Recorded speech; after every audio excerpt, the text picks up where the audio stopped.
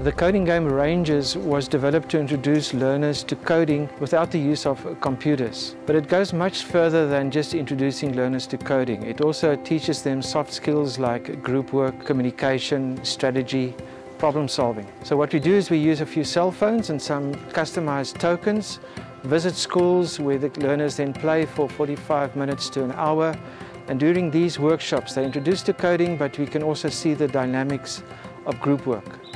This can also take the form of a coding club at schools, where schools can run this weekly or daily without needing fancy and expensive computer laboratories.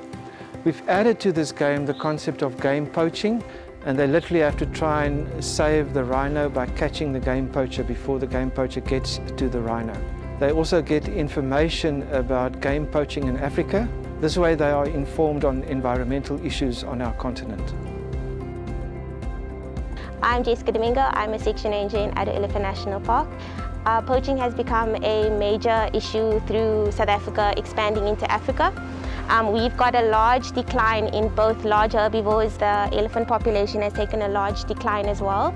Poaching is an important thing to uh, bring into education as a matter of importance as the youth today needs a clear understanding of what we do as management as well as the ground people. The children of today will unfortunately not see um, these large herbivores if we do not take a stand today in poaching.